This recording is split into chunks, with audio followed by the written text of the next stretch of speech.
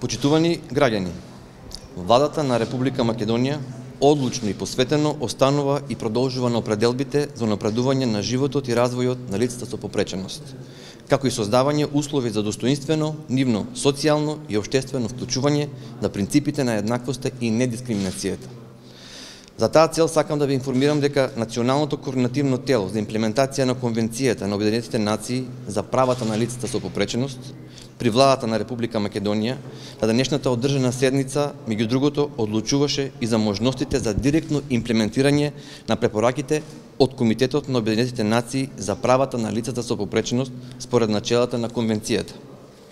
Имено, После учеството на македонската делегација на 20-тата сесија на Комитетот на Обединетите нации за правата на лицата со попреченост од 9 до 11 септември 2018 година, на која се објаснуваше и дискутираше по иницијалниот извештај на Република Македонија за досега превземените активности, Комитетот ни ги достави заклучоците и препораките според кои треба државата да се движи кон имплементација на конвенцијата.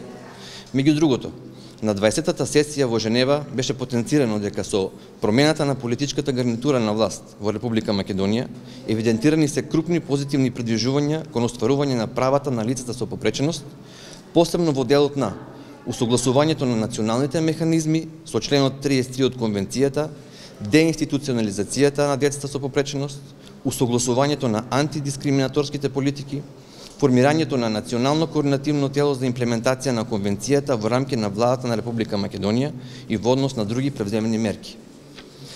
Со добивањето на овие препораки, Република Македонија конечно доби јасен и отворен патоказ кон постапките кои треба да ги превзеде кон постигнување на еднаквоста и унапредување на животот на оваа група граѓани, а кој националното координативно тело будно ќе ги следи и поттикнува.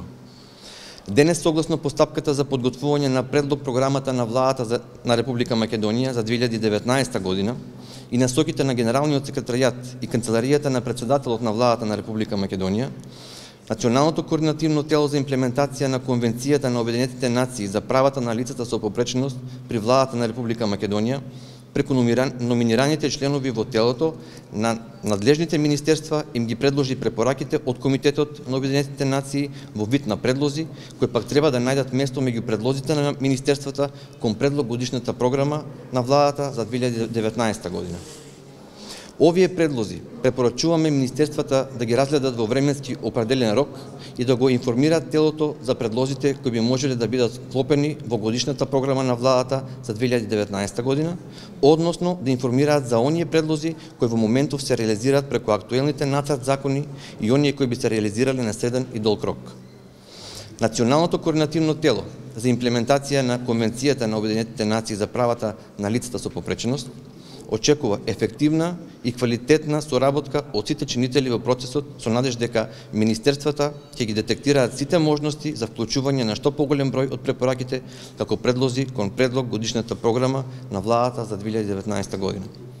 Националното координативно тело активно ќе го следи овој процес се до донесувањето на програмата на владата за 2019 година, зашто повторно ќе информира јавноста за резултатите од постапката и своите следни чекори.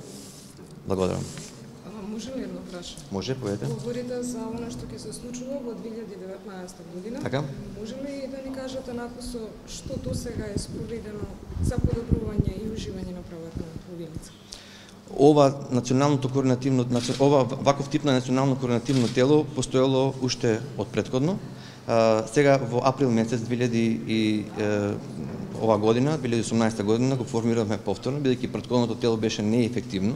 И сам, со самото формирање на националното координативно тело е во склоп на конвенцијата по кој, кој што е основ, кој што се основни а, начела на кој што работи националното координативно тело. Всушност, тоа е механизам за ре, имплементација на конвенцијата од членот 33 од, од конвенцијата за права на лица со попреченост. А кажете ми, дали си имате слух за барањата на здруженијата? Дали Секако, со нивна соработка Сдруженијата и самото национално координативно тело е направено и конституирано со вклученост на на здруженијата и, и организациите на лица со попреченост. Така да од 15 членови, два двајца од членовите се представници од невладините организации и тоа едни од члени од националните инвалидски организации на Република Македонија кои што се делегираат самите свој представник и едно, едниот член е представник од родителите на, на детата со попреченост во Република Македонија.